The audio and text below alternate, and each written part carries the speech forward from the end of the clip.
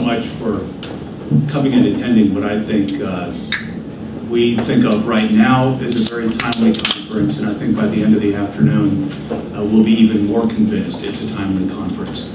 Uh, I'm Nelson Cunningham. I'm the president of the American Security Project, uh, just newly elected by my fellow board members, which is a little daunting. Um, I was a founding member of this organization back in 2005 and 2006. And it might be good to just set the table a little bit for what ASP is. Uh, because it was started by John Kerry, uh, who had just lost the presidential, the presidential race. He came out of that deeply concerned by the state of the discussion in America about foreign policy. The extent to which foreign policy had become partisan, the extent to which foreign policy had become a partisan football. And he, of course, was at the epicenter of this, running against a sitting president in, in 2004 when foreign policy was one of the key issues facing the country and facing voters. So he thought he would do something about it, and he did it the old-fashioned way, by bringing people together. He founded ASP with the vision that he would bring together Democrats and Republicans together on a board, together with retired military officers to give us the underlying steel and business people and people in media, but to try to create a forum here in Washington where you could get beyond the partisanship on, on foreign policy issues to discuss what is true, what is key in national security and American national security, and we would turn to our military officers to tell us that. And then the Republicans and the Democrats and the media people and the business people would say, now, now that we know what the military people are telling us we need to do to keep America strong, how do we talk about it in a Washington that is increasingly divided? And it's been that vision of ASP uh, which has kept me engaged for most of the last nine years with this organization, and it's one that continues to animate Secretary Kerry. Just last week, on the margins of the UN Security, uh, on the UN General Assembly meetings, he spent an hour and a half with us, our board and some key stakeholders, uh, giving us a tour d'horizon. The fact that he would spend an hour and a half in the middle of one of the busiest period of his year when he's got 160 leaders, 160 foreign ministers all tugging at his suit jacket. Uh, and he spent an hour and a half with us walking us through the challenges that he sees in foreign policy, the challenges that he sees personally. Um, as our Secretary of State, it was truly remarkable. So his commitment to this organization remains. And that's one of the reasons why you find that the dedicated work on the part of both the board and our terrific staff at putting together programs that we feel are timely, uh, are critical to American security, and that try to raise the bar on how we talk about these issues in a way that makes it politically easy to do the things that we need to do, rather than to get it mired in the sort of dreadful partisan politics that it impacts so much uh, of the work in Washington and in this country. So with having set the table there, let me say it's with real pride that we're here talking about Africa. Uh, uh, ASP is not new to thinking about Africa. We've been thinking about it a long time, in part because our generals and our admirals were telling us long ago that climate change in Africa was going to lead to dreadful problems, that the security needs in Africa were going to lead to problems in which the U.S. military was necessarily going to be involved. And so we've been thinking about ways in which the U.S. relationship with Africa uh, should be promoted, should be couched, should be developed, so that U.S. interests, U.S. security interests can be integrated with those of Africa in a way that supports both our interests and the interests of Africa. Uh, I don't have to tell you sitting in the room that this is, a, this is a new moment for Africa.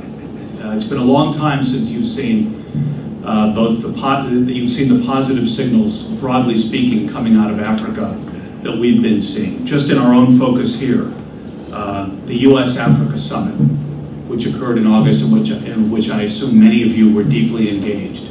Uh, a historic opportunity to bring the leaders of Africa here under the direction, and guidance of President Obama his national security team to set the table to talk about things that we thought were Africa should be thinking about. The core of that, power. At the core of that, infrastructure. Doing the things, helping Africa do the things that they need to do in order to develop their economies and to make themselves more secure and better places for their citizens. Um, for so many years, developments in Africa were driven by resources. The oil companies, the mining companies. I know in my own, my own day job, I run a firm called McLarty Associates, and we help companies deal with government and strategic issues around the world. Well, five years ago, we had no Africa practice. Why? Because the oil companies and the mining companies had been in Africa for decades. They knew what they wanted to get out of Africa. They already had made their arrangements with the governments and they were set. Today we have four people working full-time on Africa. Why? Because Walmart cares about Africa. MetLife cares about Africa. Google cares about Africa. Kellogg's cares about Africa. McDonald's cares about Africa. JP Morgan cares about Africa. Our broad range of clients APR Energy cares about Africa. Our broad range of clients look at Africa not now as just resource plays, but as consumer markets, as markets that have tens, if not hundreds of millions of people who will soon be in the middle class, as you, as you might define it in the developing world, and who are going to be consumers of products that globalized companies sell. So we've seen in my own day job, I've, I've seen that integration and I've seen the way that Africa has begun to loom ever larger uh, in the lives of our companies. Now, the trend lines are obviously terrific for Africa, and I won't bore you with statistics, and I think we'll hear a lot of statistics from our panelists all afternoon. But the headlines are dreadful. Ebola. Uh, it has to be at the top of the list. The horrendous pictures that we see every day in the newspapers. Um, Boko Haram, Al-Shabaab in Kenya. Uh, the issues that are roiling Africa continue to be the same issues that have always roiled Africa. Uh, we can be thankful that at Congo. We can be thankful, though, that some of the things like mass famines aren't happening today. And we can be hopeful that the governments are continuing to increase their capacity to serve their people in more fair, more honest, and more productive ways. The focus for our presentations today, we've got a number of extremely good panels today. Uh, let me just set the table for you. Uh, first, a panel which I'll be moderating with my colleagues here, and I'll introduce them in a minute. Uh, extending America's national security through private sector investments. How is the American private sector going to help develop Africa to our benefit? And what are the tools that the US government has to help American companies that are interested in Africa? Second, what are, the, what are those opportunities for investment? Will be our second panel. Third, once you've decided to invest, how in the world do you manage the risk that you find in Africa? Because the risks there are almost unique in the world, coming from all sorts of directions. It's our hope that at the end of, at the, end of the afternoon, uh, you'll come away with a sense of why one would want to invest in Africa, what the tools are that are available to you at the hands of the U.S. government and others to help uh, you invest in Africa, where the opportunities are, and then how to manage those risks. So with that, let me take off my welcoming hat and put on my moderating hat and introduce the panel for the first segment on encouraging private investment. To my right uh, is Lee Zak, who to a lot of people in this room really needs no introduction because uh, she is the head of the U.S. Trade and Development Agency, which is one of the smallest but most efficient and effective agencies that the U.S. government has when it comes to leveraging federal dollars to helping, to, helping American companies invest abroad. Uh, my first real introduction to TDA came in November of 2008 when I was uh, part of then President-elect Obama's transition team. I headed the transition for Exim, OPIC, and TDA, three extremely fine agencies. Uh, and my introduction to Lee Zak came then because she was the deputy director at that time, a career employee. She'd been the career general counsel, career deputy director. Uh, one of my tasks heading the transition for these agencies was to think about who the new head might be for the agencies under, under the new president. And I came back from my meeting at TDA. I said, I think we have our new head. and it's our acting head. and I was very pleased that the, uh, that the president's team picked up on that suggestion and that Lee Zak um, uh, was nominated by President Obama and is the head of TDA. And she'll walk us through the ways in which TDA is working with the private sector here. To her right, uh, Ambassador Robert Jackson, who is the Principal Deputy Assistant Secretary of State for Africa. For those of you who know the structure, the way the State Department works, the PDAS is the one who actually does all the work. uh, but he, he, and he comes to this with a rich background. He was ambassador in Cameroon. He was chargé in Morocco. He was chargé in, uh, in Ghana.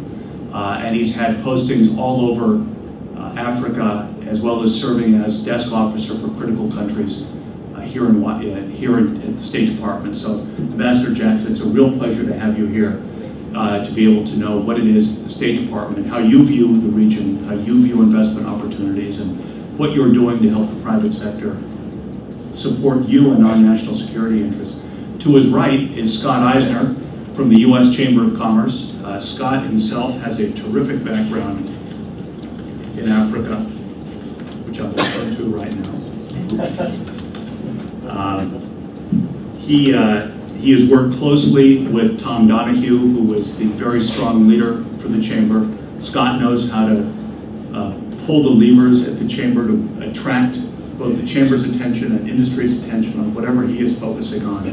Uh, his focus now here uh, on Africa, I think tells us a good deal about where Tom Donohue's thinking is and where he needs to be leading his companies and preparing the way for his companies as they look around the world. So from the government, from the private sector. I think we have a terrific panel here uh, to help us walk through the first topic. Uh, our, our program here will be very simple. Each of our panelists will spend five minutes or so teeing up what they have to say, setting the table for their remarks, and then we'll have a moderated discussion which will take us through to about, uh, Paul, to about 1:45, So roughly an hour and then we'll move on to the next panels. So with that, Lisa. Thank you very much, Nelson, and it's a pleasure to be here, and I have to congratulate you on your new appointment. And I especially want to thank you for being the head of our transition team. and it's interesting, you very nicely set the tone, I think, for this conversation, but also for USTDA's role. Clearly, with respect to security, we know that economic growth is an extremely important part of ensuring security. But the other part of that is being able, and I think it very much goes to the American Security Project's mission, in bringing people together. And that's exactly what USTDA does. USTDA's mission brings the US private sector to play a role in infrastructure projects in emerging markets around the world. And we do this in a couple ways. One, and it's something that I definitely want to talk more about and want to leave time for questions and answers and a real discussion. But one of the things that we have heard about with respect to economic development and being able to move on and taking advantage today of some of the financing that's available, especially in Africa, is that there really needs to be project planning. That there are ideas, but they're not necessarily ready for the financing stage. What USTDA does is that we provide grant funding to help with that early project planning. So it can be feasibility studies, technical assistance, or even pilot projects, demonstrations of US technology in place. The other thing we do is we focus on building partnerships and we bring delegations to the US to meet with US businesses. We think this is important because one, it's very important not only to focus on some of the large companies, but also the smaller companies. And what this does is it allows us to bring delegations to the US, not just Washington, D.C., but throughout the country to be able to meet with businesses of all sizes. this has become extremely important with respect to Power Africa. And we were having a chat um, before we sat down here today, and USTDA has doubled its portfolio in energy in Africa in the last year. Major part of this is the fact that the US government is working together as a whole of government approach to meeting the goals of Power Africa. I was fortunate enough to be in Tanzania with the president when he announced Power Africa, and the theme that came through time and time again is that, there, the, that in Africa, it's a new way of doing business. It's a focus on trade, not aid. It's a focus on partnership, mutual benefit.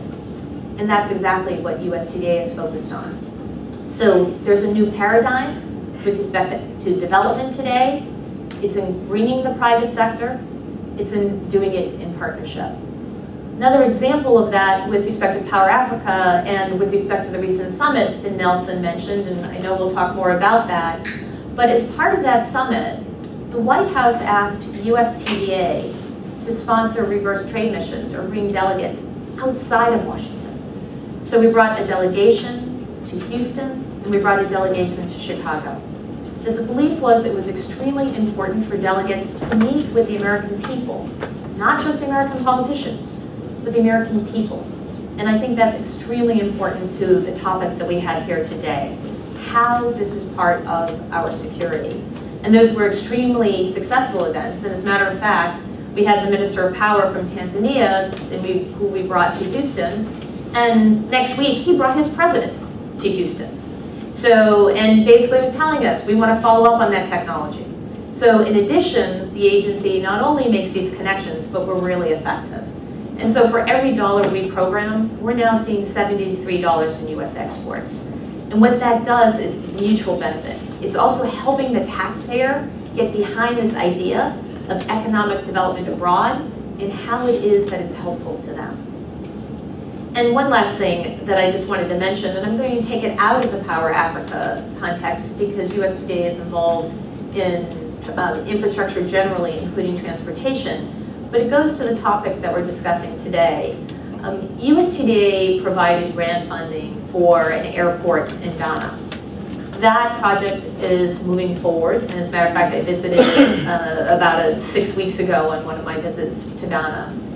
But when we were there and looking at what they've done to be able to move forward with respect to that airport development, which is really important to their economy, they turned to us and said, could you fund a study for security in this airport? Because we don't have Boko Haram here, but we do have neighbors. And we're very concerned that we could be a gateway and not really know it. And very similar, frankly, you all, I happen to be from Massachusetts, and very sensitive with respect to you know the hijacking at 9/11. Those hijackers came from Maine and got on the plane and transitioned through Boston. So they didn't get go through security in Boston. They went through security in Maine. And so this is what they're pointing to is that they want to be sure that they're secure, that they provided for the security. So not only are we providing for the economic growth that will create security, but more and more people are coming to us to help with respect to the actual security in their countries. So, you know, all of these are challenges, but these challenges also bring opportunity.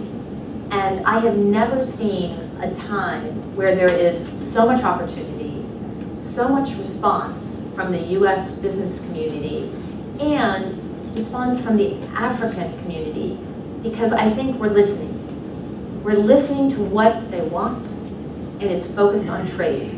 It's capacity building, it's economic development, and it's working together in partnership, which ties right back to the American Security Project. And I'm delighted to be here and look forward to our questions. So do I have a good eye for talent or Ambassador Jackson. Thank you very much. Uh, good afternoon, everyone. And I'm too pleased to be here for an interesting, and timely, and provocative topic. Promoting a more stable and economically prosperous Africa is very much a U.S. national security interest. we're seeing some encouraging trends in spite of the headlines. Africa is home to most of the fastest growing economies in the world. We see a burgeoning middle class, and we see a lot of economic successes. Um, yes, there are security challenges in places like Somalia, South Sudan, Sudan itself, Nigeria. But overall, the democratic processes in Africa, while not always perfect, have been improving over the past two and a half decades. And of course, U.S. companies want stability and security when they invest. Those investments in turn provide security. Private investment creates jobs, bringing technology and management best practices, and it strengthens global interconnections. And these investments create wealth and prosperity both here in the United States and in the countries that are the hosts. Our national security goals in Africa are broad. They include strengthening democratic institutions, promoting trade and investment, ending conflict and fighting extremism and all forms of trafficking. They also encompass eliminating extreme poverty, combating disease, and climate change. Our approach is to promote development of Africa's human capital, which is very different from the Chinese approach, and perhaps we could talk about that more. Um, but Africans themselves have to take the lead in tackling the continent's challenge and in seizing the opportunities. Our role is to support them in that effort. The U.S. private sector has played an important role in enhancing our broad national security goals in Africa. For example, government, civil society, and private companies are working together to implement the Dodd-Frank Wall Street Reform and Consumer Protection Act of 2010 to break the links between illicit minerals trade and abusive soldiers and armed gangs. Thus, we're reducing conflict in the Democratic Republic of Congo. Ebola, let's talk about Ebola. Ebola is very hard to get, first of all, in case you don't know that, and I want to be very clear about that. Um, but the way the United States is responding to Ebola has been very vigorous. President Obama has determined that responding to Ebola is a national security priority. This is a global crisis that demands a global response. And we're using all the tools of American power, military, diplomatic, health, academia, as well as financial support and know-how from our private sector, bringing all these together in partnership in order to help the people of West Africa to tackle this crisis. Private sector has a vital role to play. A group of private companies operating in West Africa is already organizing in-kind and financial support. And those companies have committed to stay in the region. Other U.S. businesses are also looking at ways to contribute. The private sector's commitment to remain in Africa and to help rebuild the economies affected by Ebola after it subsides, and it will subside, will be key to the region's recovery and thus to U.S. national security goals in the region. In the longer term, promoting economic development, driven in large part by private sector investment, is critical to our national security. The U.S. Africa Leaders Summit featured the role of private companies. That focus on trade and investment set the summit apart from the summits that China, Japan, the EU, and France hold uh, with Africa. We announced $33 billion in commitments for new trade and investment on the margins of the summit. This included $7 billion in new financing to promote U.S. exports to and investments in Africa under the Doing Business in Africa campaign. Underpinning this business development and growth must be expanded access to electricity. Lee talked about that, but let me mention just a couple figures.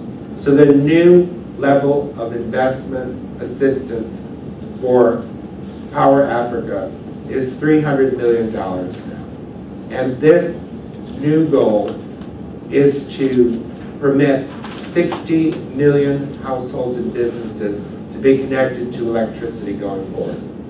With $6 billion in new private sector commitments, the total commitments under Power Africa now exceed $20 billion. And the theme of the summit, Investing in the Next Generation, reminds us that one of the most important and effective ways to, promote, to prevent conflict in the future is to stimulate economic growth and unlock opportunities for the next generation. That's why we created Feed the Future and the new Alliance for Food Security and Nutrition, which are leveraging public funds to mobilize billions in private investment to enhance food security in Africa. That's why President Obama expanded his Young African Leaders Initiative, which provides resources for entrepreneurs to further support leadership development, entrepreneurship, and to connect these young leaders with one another and with Americans. Our overarching national security goal on the continent is to help Africa reach its potential. We want to be good partners, and as highlighted in the Leaders Summit, this is a task for all of us, government, civil society, and the private sector. You can help build the roads, the power plants, the mines, farms, factories, provide the services and products that Africa needs for sustainable growth.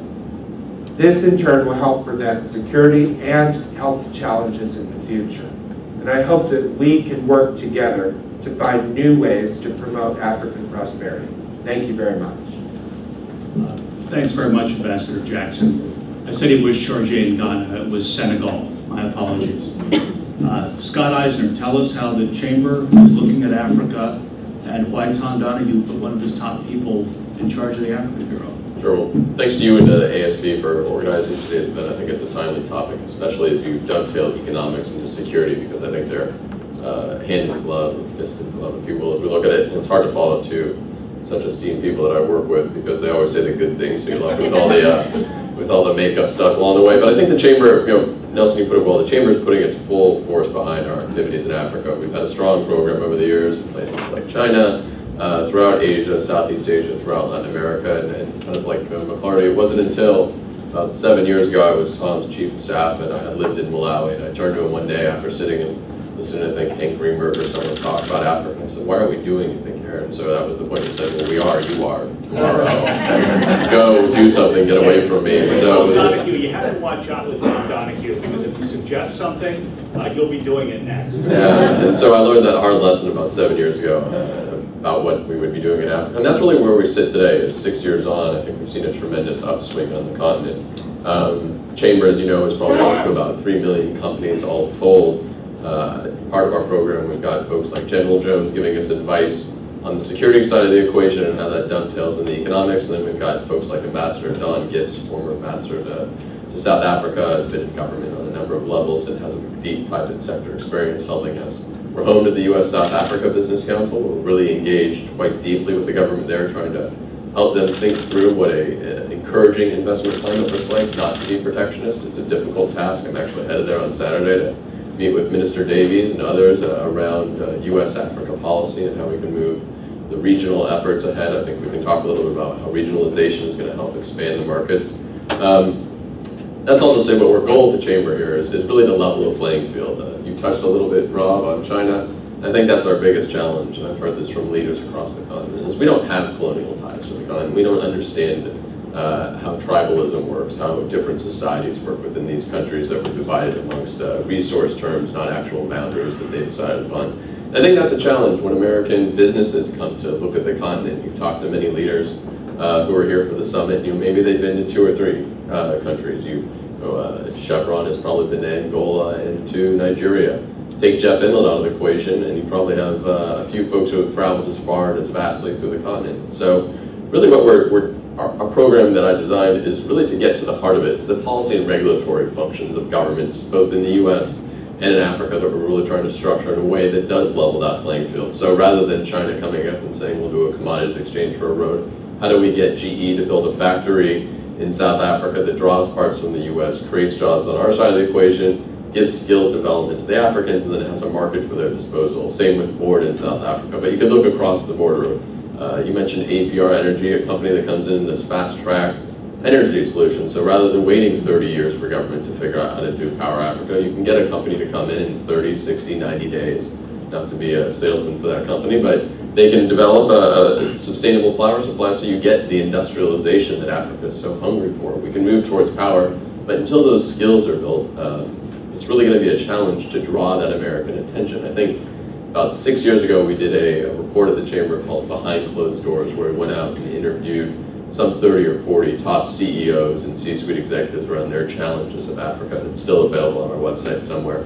Uh, and their number one issue was skills and education. There was such a, dearth of skills uh, and a lacking in education uh, amongst all the countries that they were interested in investing in. Angola, Ghana, you know, uh, Cote d'Ivoire is coming back on the radar. But they didn't know where to turn. I think that is, is really where the, business community and the security question, as we move towards that part of the discussion, really dovetail. I mean, as I sit back and look at the continent, I was asked a question last year as I was speaking in a similar forum in Phoenix by a, storied military veteran. His only question about an hour-long presentation was on security in Africa and how was it that we allowed Boko Haram and uh, and everyone else to spread throughout the continent. So the problem is that it's, it's not the government's role to figure out how to stem the tide of that necessarily, uh, our government necessarily. It's really the business community is concerned because those folks on a whole are not looking to scramble towards the next jihadist movement. They're not scrambling to look for They're looking for a job. They're looking for some clothes on their back, some shoes on their feet, and some sense that they belong. I think that's really where, as we drive our American policy forward, both looking at the military component of it and the security component and the economic component, is how do we drive towards a skills development sector, both by American job creation uh, giving governments the wherewithal to create policies that uh, foster foreign direct investment, don't push it away. Uh, that would include some governments changing their localization policies, the way that they are engaging with China, the way they're engaging with the Indians, and having a more holistic view of how do they approach the continent. So really, I think at the end of this conversation, looking at how does skills replace militarism in, in the continent is going to be the key. Uh, and I think as we as a government and a business community work together in a private-public partnership, how do we build the skills factories of Africa to build the factories of Africa? And I think that's really where I sit back and look at where companies are going. So I'll, end on that note because I think question and answer is much more entertaining than my monotone voice. Yeah, no, Scott, that was a really terrific and extremely broad-gauged uh, approach to development, economic development in Africa. So, so thank you for that. You know, six years ago, the people who got most excited about Africa uh, was the development community, which is essential, it's important, remains important. In my experience today, the ones who are most excited about Africa, uh, because they have to be, are both the private sector, private companies, uh, and also the, the U.S. military, because they understand that some of the newest challenges to American security are going to be coming out uh, of that part of the world. Uh, Ambassador Jackson, you're the one here who was probably best able to talk a bit about the, the military threats that can come out of Africa But perhaps on the more positive side, you can talk about AFRICOM and sort of how uh, we're looking to integrate uh, our military services with the unique environments that Africa, that Africa presents. Well, what I'll say is, uh, with deference to General Ham, who may also have strong Ah. views on that. If, if he's here, I hadn't seen him, sir, well, I hope that uh, maybe we'll pass the microphone to you. Uh, I like being on this side of the yeah. But after, uh, after Ambassador Jackson, if you, if you wouldn't mind, sir, I'd love to be able to have you answer that question. Um, so African Command has been very successful in responding to a variety of threats, and I think that the way we are deploying the military across the continent has been very much in line with a new approach to Africa. Um, it is not a militarized approach. It is very much in combination with Department of State and its efforts.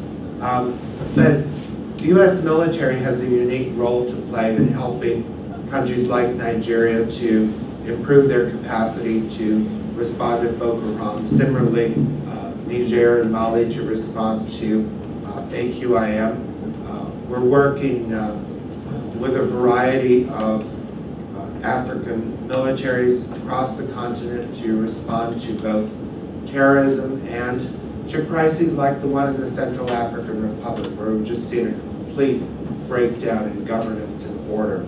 And African Command has really stepped up. Um, their response to the Ebola crisis has been terrific. We're setting up um, air bridges between Senegal and Liberia, between Senegal and Ghana. Um, these will be vital to our response to the Ebola uh, crisis going forward. And, and, the U.S. military has taken on these roles that no one else has wanted or been able to play. And that's where I think AFRICOM uh, has shown its great success in being nimble, and being able to work um, in direct response to what the different crises have presented us with. Well, one of the advantages of having an organization that does have broad relationships across Washington uh, is that we are able to ask our, our fellow board members are military officers to extend our reach. So we are delighted to have General Ham here. And I, I really hope if we can count on you just for a minute or two, General, the former commander of AFRICOM, uh, retired four-star general. Perhaps if you wouldn't mind spending just a, a couple of minutes addressing this same issue, uh, we'd really appreciate it. Well, thanks, uh, thanks Nelson, and Ambassador, great to see you again. Uh. I, I do very much like being on this side of the panel. You get to ask And- you look good in a tie. Is a different time. Um, But I, I think Ambassador Jackson uh, characterized it properly. I, I think that part of it is the, the, the the maturation of the U.S. military engagement across the African continent. We were just talking with some, some new friends here about, uh, the U.S. military does not have a long history of engagement uh, throughout the African continent, and so it was a, it was a pretty steep learning curve for us. And I think we are, we are now, uh, under General Rodriguez's uh, leadership at, at AFRICOM, at a point where, uh, where, where African civilian and military leaders understand more thoroughly what AFRICOM is and, and importantly, what it is not. Uh, and I think uh, the partnership that has developed over many years between uh, Africa Command, uh, the Africa Bureau, and Areas Affairs, who has- handles Northern Africa, is stronger perhaps than it, it has ever been. Um, much like the U.S. government's role in the in the private sector and in business development, AFRICOM does not seek to to, uh, uh, to, to lead these efforts, but rather to listen first uh, to African partners and find ways in which the U.S. military can bring to bear its capabilities in, in ways that are helpful to host nations. Always coordinated through the through the uh, U.S. ambassador. There's not there's some people have this sense that that I was bouncing around the continent of Africa doing whatever I pleased. But, but I always but I always recognized that wherever I was in whatever African country, I was never ever the senior American in that country. It was an ambassador, and so we coordinated our efforts there. So I think what we're seeing now in, in, in uh, I think uh, Nelson's right the, on the now the aftermath of the African Leaders Summit, uh, the bonds uh, between the United States and the African countries, the regional economic communities, the African Union, are growing stronger and stronger, and that's certainly true in the, in the military domain as well, uh, and I think it's very helpful. Um, what AFRICOM seeks to do is to help Africans provide uh, or to develop African security capabilities so that they are increasingly capable of providing for their own security contributing to regional security. That's clearly in their best interest. It's in the best interest of business uh, development, but it's also in the security and best security interests of the United States. So a very collaborative, cooperative effort is what the command seeks, and, and I think we're starting to see that uh, that play out. So thanks, Nelson. Thanks for the opportunity. Thank all of you. Well, thanks, thanks for agreeing to uh, volunteer to, to join our conversation, General. We really appreciate it. Um, I failed in the most important job of the host, which is to thank the fathers of the feast. And so I'd like to thank uh, Dante Disparte with the Clements Group and uh, Fadi El Salamin with YCF, a private investment firm based here in Washington, for co-sponsoring uh, our program today, for providing the lunch, for providing the rest of the infrastructure for this. You'll be seeing each of them uh, on the next panel, and you'll understand why it's nice to not only have them helping support a venture like this, but then putting their brains and their intellectual capital to work also. So thank you both, and uh, thanks for this. It's important to do that before people's memories of lunch are too far, too far in the past. So thank you. Thanks again. Uh, let me ask one more question, and we'll, then we'll of course open it up for about the next 30 minutes. Uh, China. Um, should we properly view China as competitors in Africa, or should we view them as complementary uh, economic participants in Africa. You know, you can think of, of a China as uh, uh, you can think of them as providing, you know, capital, labor, infrastructure, fast infrastructure. They can throw things up faster than anybody can. Uh, they obviously have an interest in controlling some of the markets, some of the resources there. You know, what the U.S. brings to the table is very different. Sure, we can, sure, we're very interested in infrastructure, but the infrastructure we're going to build is going to necessarily be very different. It's going to be much more expensive. It's going to be slower. It might be better quality. It might be more enduring. It might be more. It might be more integrated with broader economic and environmental goals which these countries need to do. But it's going to be of a different nature. Uh, we can provide education resources the Chinese can't. We can provide skills training that they can't. Uh, let me ask Lee Zak how TDA, how often you see the Chinese, and you, how do you view them as competitors, as or as uh, complementary uh, economic players? I think the answer to that is yes and yes. that uh, I think clearly we see China as competitors to U.S. business. That you know one of the things that, and I, I enjoyed what Scott had to say. Um, one of the things we have to do is level the playing field. And what we're hearing from many of the folks in the host country is, yes, China came in, they built things quickly, they're now falling apart, um, they have left their labor behind, that's creating problems for job creation in their country, but they were cheaper. What can we do about it? And as a result, USTDA responded to that request by developing a global procurement initiative working with host countries to basically put forward the principle that you actually can look and value something over time. And that is your better investment. And that with respect to developing infrastructure and certain projects that you can have the private sector participate in and fund, then you want to level that playing field. You want to get the best quality. You want to be able to have US have an opportunity to participate. There may be other times with respect to development assistance that yes, we want China to step up with development assistance, not just building infrastructure. And so I think it can you can complement in that way. But I do think that really China is a competitor, from what we hear, to many US businesses. And what we have to do is basically show what the value is over time, where you want to get the private sector involved, and where there might be places for China to be able to play, where there really isn't a role for the private sector, where they should step up as a donor, as the U.S. for years has stepped up as a donor. Scott?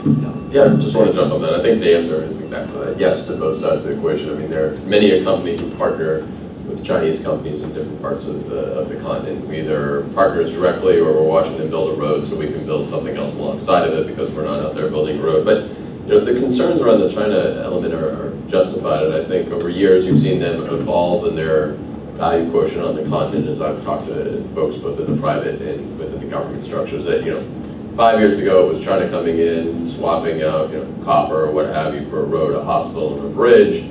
Uh, if that price went down, well, they left it by the wayside because, hey, what the hell do we need that for now? We got enough copper anyways.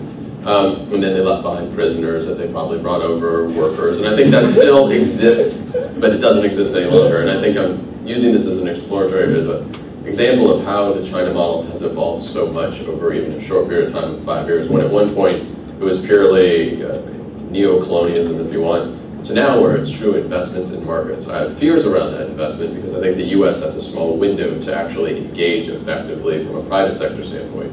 We saw a procurement contract in South Africa recently for locomotives get split between GE and the Chinese company. The Chinese company doesn't deliver a good product, I'll tell you, every day of the week as the, as the GEs of the world, yet the government was inclined to split the product. Now, I don't think China's going to deliver those goods at the end of the day. It'll be an opportunity for a GE or an EMD locomotive from Caterpillar, or some of those people to step into the fray but that's to say, over a short period of time, I think the Chinese, like the Japanese in the 70s, when they delivered a pretty crappy product to the US and to the globe, they're going to figure out how to deliver a much better product. And that's where my fear comes in is five, ten years down the road, they're going to engineer some better product or an equal product to what we have and still be able to sell it at a lower rate. And they'll figure out what customer service actually means, which they don't have right now.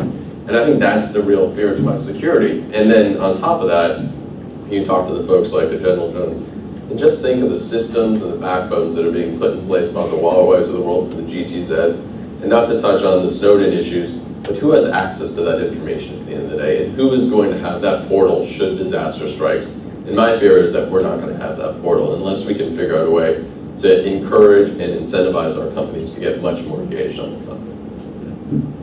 Ambassador Jackson, anything to add on China? Um, I want to pick up on something that you said, Nelson, and that is that the kinds of projects that we're competing for are not the same. So in that sense, I don't think there's direct competition.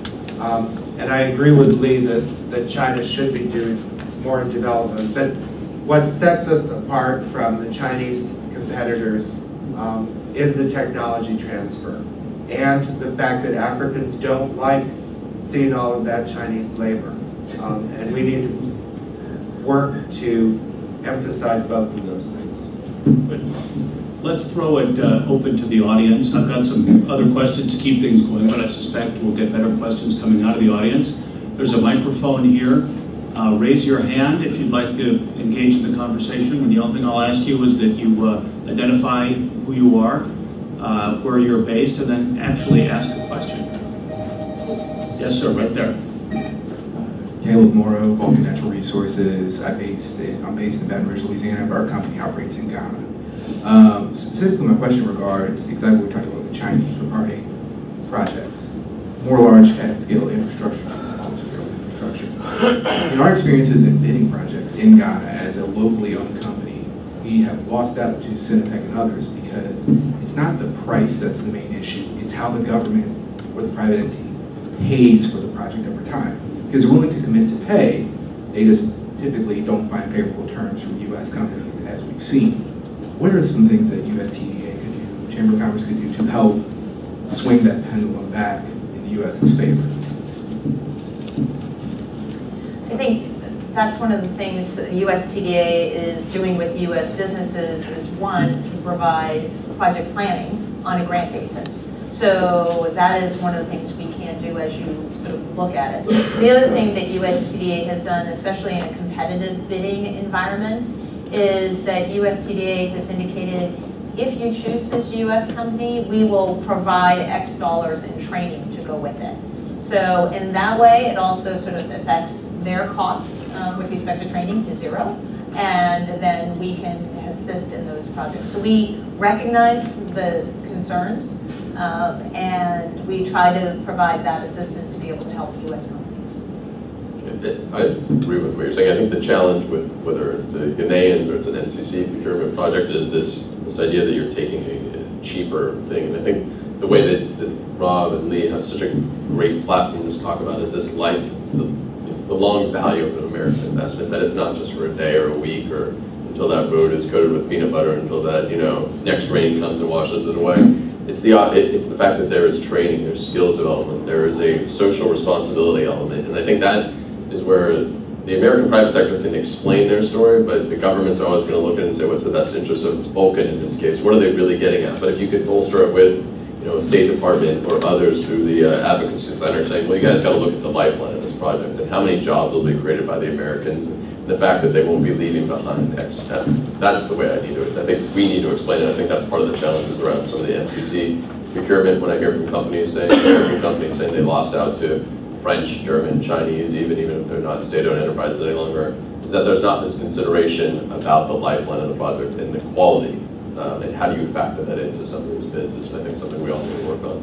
And I think we also have to encourage um, some pressure on the Chinese to join the same international organizations that we're bound by. I mean, part of the reason they can do that financing is they're not part of the OECD as you know we are, and so Exim Bank has certain rules, as do other uh, other countries. So I think that's the other thing is we have to start putting pressure on China to step up and take their place and play by the same rules. And as far as Exim Bank is concerned, its largest portfolio is now in Africa. Big change from just five years ago. On the Overseas Private Investment Corporation uh, has an office in South Africa and has created two more on the continent, one in Central Africa and one in West Africa. you know, focusing on both OPIC and Exim, and then we'll go back to the questions. You know, uh, OPIC's head, Elizabeth Littlefield, uh, is a banker who then spent time at the World Bank, is somebody who both knows finance and who knows development, is passionate about it. So her commitment to Africa is really deep and really genuine. And in Fred Hochberg, you know, one of the great salesmen, uh, you know, his, his mother is Lillian, uh, Lillian Vernon, the great uh, catalog uh, company. And so he learned how to sell stuff from his mother. And he himself is a terrific salesman, as we all know. Uh, my brilliant memo to the president-elect back in November of 2008 said, well, Exim has such a solid congressional base that they'll never have a problem. No. It really did. It really did. I said OPIC is one we have to worry about. But as it turns out, OPIC is doing just fine in that regard. And Exim, astonishingly, uh, finds itself in the crosshairs of a very odd uh, confluence of um, uh, dynamic up on the hill. And I think there probably isn't a person in the room who wouldn't do everything they could to try to help persuade the Congress to extend Exim past the middle of next year so that they can support what we're doing in Africa and they can support jobs here in the U.S. Uh, very few things that you'll find the AFL-CIO and the Chamber of Commerce both, both enthusiastically pushing, and Exim is one.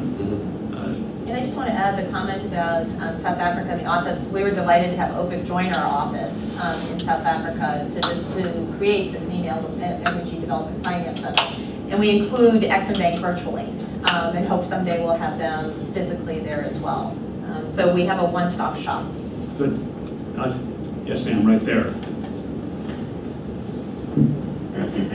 Good afternoon. My name is Rosemary Sedira. I'm the president of Hope for Tomorrow. We focus on violence and conflicts, and I'm also a business person. Thank you to see you all. I want to thank the president for the wonderful historic uh, US Africa Summit, which I was part of as a civil society. It was great, and my focus to the president and executive summary was on peace and security. And I'm so happy that we are talking about it now because without peace and security in Africa, there can never be growth, there can never be development. So this is the most uh, subject I think of when I think of African Summit. So thank you so much for this wonderful presentation. So um, uh, what I wanted to ask was, how do we move on with this following the African Summit on trade as businesses go to Africa, China, everybody is now in Africa. How do we collaborate now with the African leaders or African government and the businesses make uh, uh, peace and security a priority of uh, the continent, looking at investments in African businesses. And the other thing is, as an organization, we are working privately to help Ebola by contributing humanitarian products to take to Liberia. And you know, there are no flights going there, there are no shipping going there, apart from the military, the AFRICOM, which is working. So I have written a letter which I'll share with you on email if I have your business cards. I was requesting if the military, now that is going there, if it could help us get some of the humanitarian to um, to Liberia, like uh, you know, clothes, sanitation, and other things because there are no flights and that, there are that no sounds like that sounds like an yes. excellent idea. Yes, so thank uh, you. we want your help and thank you so much for this wonderful event. Good. You know, I might I might pitch this uh, question also to Ambassador Jackson. What is the follow-up to the Africa Summit? What are the mechanisms that that you, the department, are looking to set in place to both advance the goals of the leaders and then to continue to engage the private sector in this uh, collaborative task? So the biggest thing that we've taken on is uh, enhancing the doing business in Africa uh, criteria, but I'm sure Lee can, can add to this. But there are two initiatives on the peace and security side that I want people to be aware of. One is around security governance, focused primarily on West Africa plus Kenya and, and Tunisia, um, because we recognize that in order for business to be able to invest and be certain of uh, fair treatment, you have to have rule of law. Uh, and so we're working in six countries with this initiative on rule of law programs and to make certain that uh, the justice system in particular functions as well as other security institutions.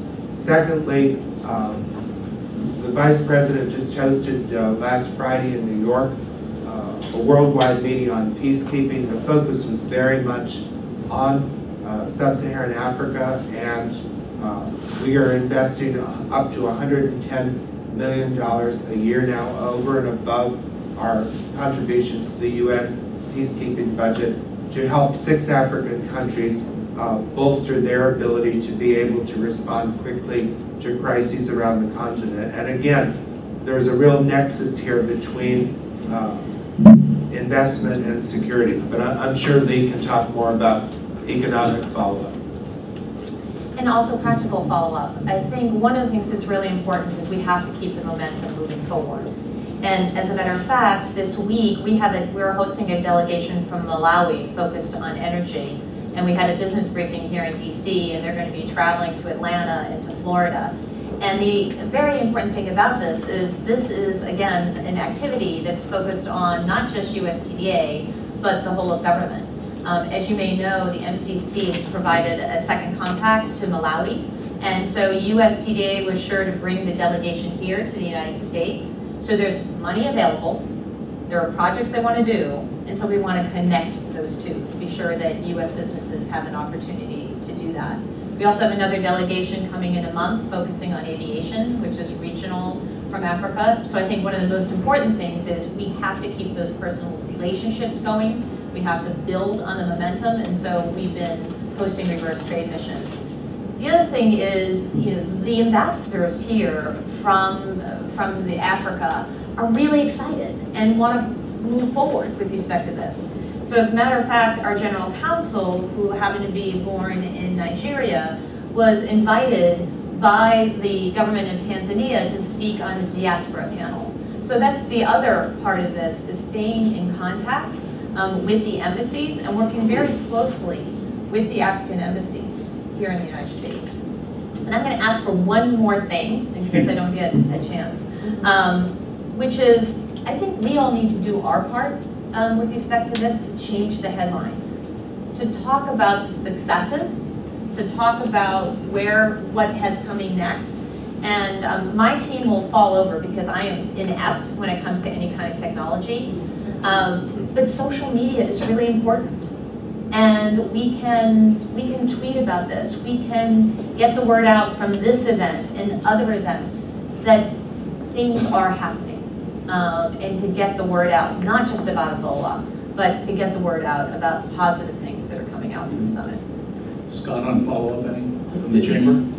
Yeah, I mean, our follow-up is our continued, we hosted about 13 heads of states and 30-odd ministers, and our, our follow-up has really been on a much more of a policy angle, and so everyone we met with during that time, we had hosted the heads of the EAC, we had Moroccan ministers, and for us, it's, you know, how do we get them to live up to the ideas that they set forth at the summit? Who's holding them accountable on the, on the investment side of the equation? Government can do what government wants, and, and they do it very well, but it's going to be the private sector that's going to determine some of the future investment opportunities. And so our engagement has been pretty strategic in, you know, what is South Africa doing with their recent security bill, or how is Morocco dealing with taxation of the pharmaceutical industry? And so how do we get down to the nitty gritty and the functional elements of investment uh, in policy and regulatory environment?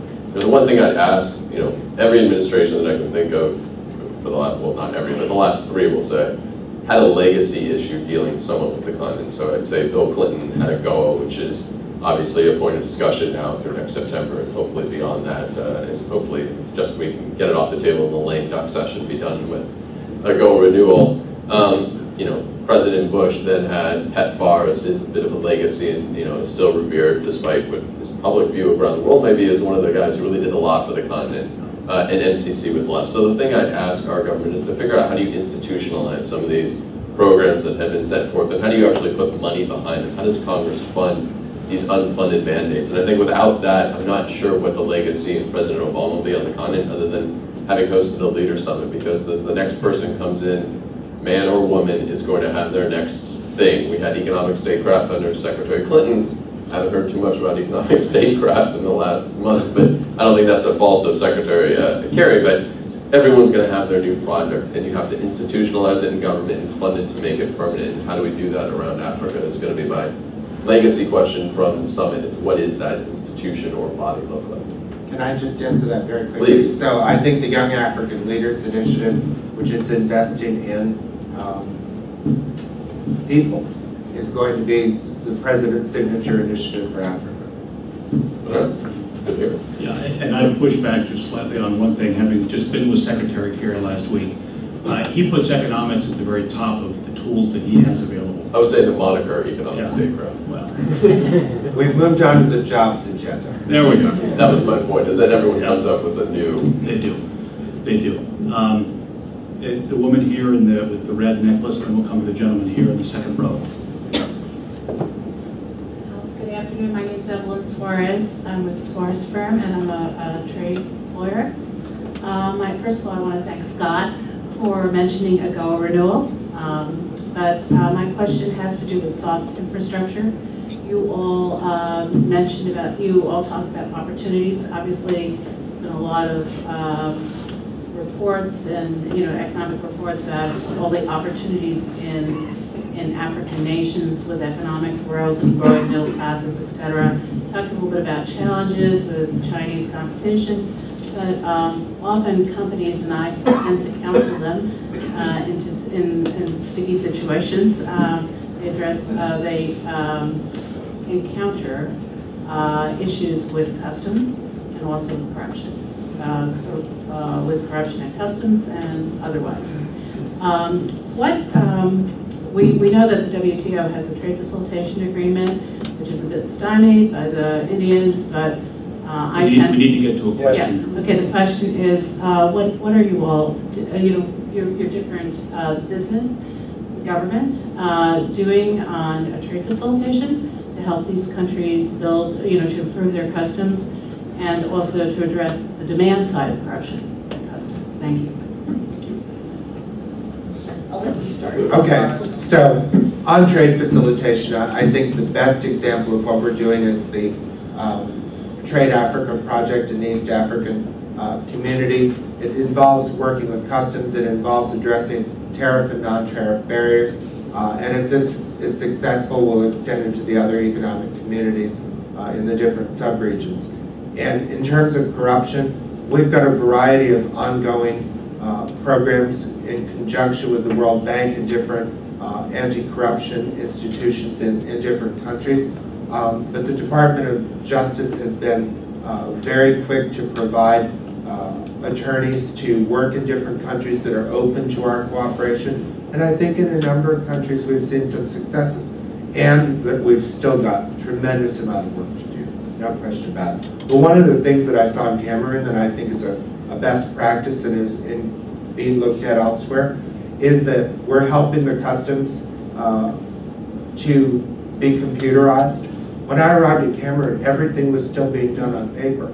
Of course, there are opportunities for corruption, but as you computerize things and people uh, have access to the data, they are able to review the data, then it's much more difficult to uh, to be corrupt and not be caught. Unless you're a Russian hacker. Um, And this was a very nice segue because we work with our sister agencies um, as they're doing the capacity building with USAID and MCC.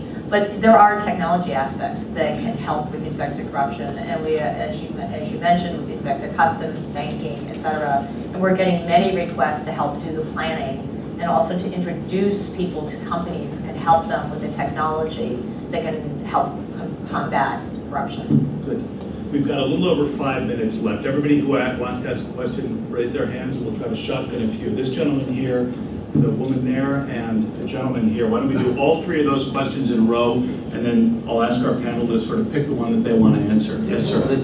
Dean Reed, um, the Reed Company is an international public relations. Sir, could you hold that a little Yeah, closer? the Reed Company is an international public relations company. We've worked most in Asia in the past, we're now working in Africa. Uh, My question is a bit off subject, relates to African wildlife, wildlife management. The, uh, uh, it's a very basic issue there, It's, uh, we're losing elements, poaching at huge levels every day. Uh, Ambassador Jackson mentioned the Chinese labor there. Uh, Chinese labor, bunch, bunch of Chinese labor is directly involved in the poaching activities. That's part of a very vicious chain that runs uh, from, and very profitable chain that runs from uh, Africa all the way to China. When you're making, you're killing elephants and making ivory chopsticks. Yes. the, uh, my question is, whether there are any of these programs you're mentioning now can reach out to this level of the African community, really do something about this. A lot of lip service to it. There's a level of concern that's up about here. The United States has an opportunity now to really take the lead and do something about this. It's a difficult project. The only thing I've seen from my experience we're actually doing is AFRICOM. And there, I know that there's a Marine detachment, for example, currently working in Gabon, where, where the, uh, where the elephants are really endangered, and they're training people there to help uh, that. I'm just wondering if there's any of these like that. That's an excellent uh, issue. Thank you, Mr. Reed. Uh, We'll get our three questions in right there. The- Go ahead, please. Hi, um, It should be on. I'm, I'm June, No? I'm June D, and I work for the State Department and um, in the Office of uh, Science and Technology Cooperation. My question is, um, has there been any discussions regarding trilateral cooperation with um, China to do capacity building and economic development? Interesting question. And the gentleman here with the, uh, yes, sir. Jack Warner, I'm located here in DC, affiliated with American National Standards Institute, and I just returned from Burkina Faso and working with IRENA. Uh, Question is, uh, I appreciate your interest in talking about reliability and performance of products and also capacity building and looking at possibly how training is being done for individuals. But what are you all looking to do in terms of really having to institutionalize this whole area of international standards and you know, in both product side and on the personnel side to ensure the countries have access to the standards and using the standards to make sure the products are going to be reliable, and that individuals are being trained properly to carry out the work that needs to be done, you know, in terms of of the field. Good. Three very good and diverse questions to end our panel with. Why don't we start with Scott? And we'll walk down to Lee and then we'll conclude to the panel. Scott? Sure, I'm going to avoid the middle one because I don't have much to add on that one. On the wildlife front, this is an issue that actually is impacting American businesses because it's uh, much like the drug trade is destabilizing a lot of these markets where we're interested. So, you know, what we're doing, I, I can't say is, is cohesive in its nature, but we have had a lot of liaison with the State Department and other uh, military uh, entities around the continent about how does the private sector play into, you know, whether it's a Motorola Solutions updating uh, the radio solutions, uh, quick responder networks, how do you update uh, companies and looking at the supply chains and where are those products flowing and how do you secure ports and get back to the trade facilitation customs front. So that's where we're engaged on the poaching front. Obviously, we want to do more, but it's a it's an issue that I think needs really in, internal African government led to really stamp out, and you know it's going to cost some lives and some other things of some very bad poachers. But killing an elephant, I don't feel so bad about that. Um, on the other side of the equation, I, I think you're exactly right on the standardization front. This is an issue we raised, raised with uh, Chairwoman Zuma, the AU, that this is probably one of the, aside from trade facilitation, uh, you know, in customs, I think this is one of the biggest issues that's going to stymie a lot of growth, uh, quick growth in Africa, is that every market is going to have a different standard, and whether it's a Chinese standard of rail, a gauge of rail, or a Brazilian standard, uh, in the aeronautics space or the radio transmissions or it's the American standards until there is some sensibility around what markets are going to have standards, uh, even in the Power Africa space around power purchasing agreements, it, it's going to be a big stumbling block. And you see that left-hand, right-hand drive where, and you saw this around AGOA and capacity building, if you want to talk about that a little bit, or Rob, uh, or Lee that the reason AGOA hasn't been as successful as it could be, and I don't think it's really been that successful, is the fact that we basically gave a Porsche when folks were just trying to figure out how to drive the, the, the trolley down the road, um, and that there's no capacity built into that amount of standards of what the products that the U.S. market can accept, and I think that's been one of the biggest challenges. Yeah,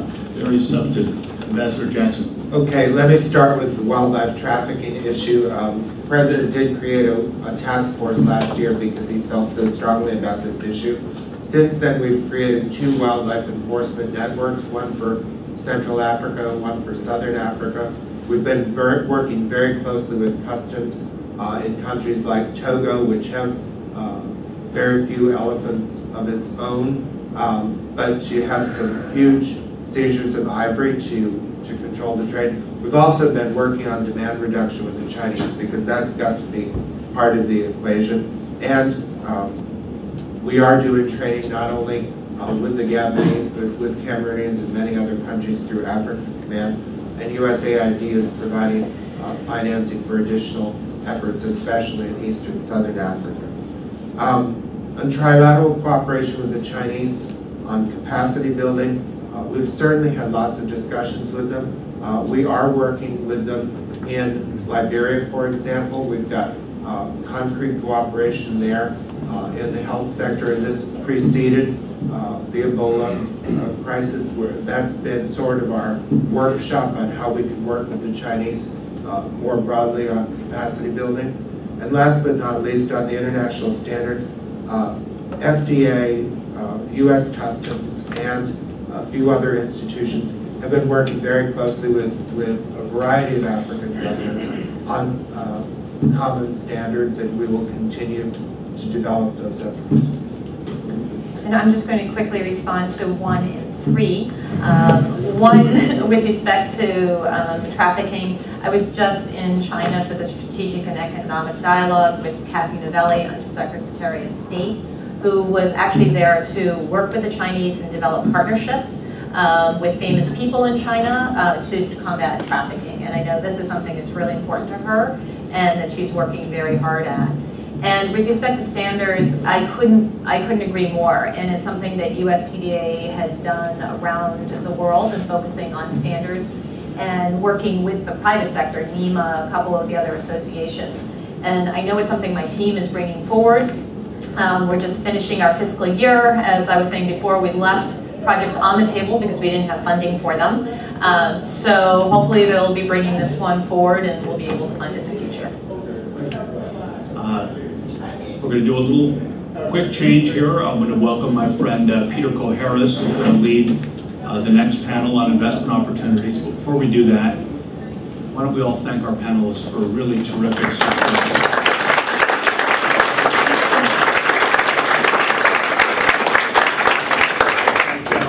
his participation too.